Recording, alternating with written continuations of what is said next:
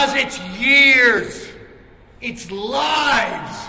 It's my life.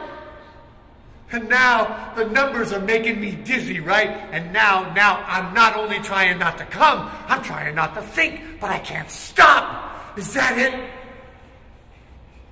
Am I some freak organism that's been, been put here to eat and sleep and spend my days defending this one horrific chain of carcinogenic molecules? Is that my destiny? Is this my place? See her. You talk to her. She's a miracle. God's perfect little creature.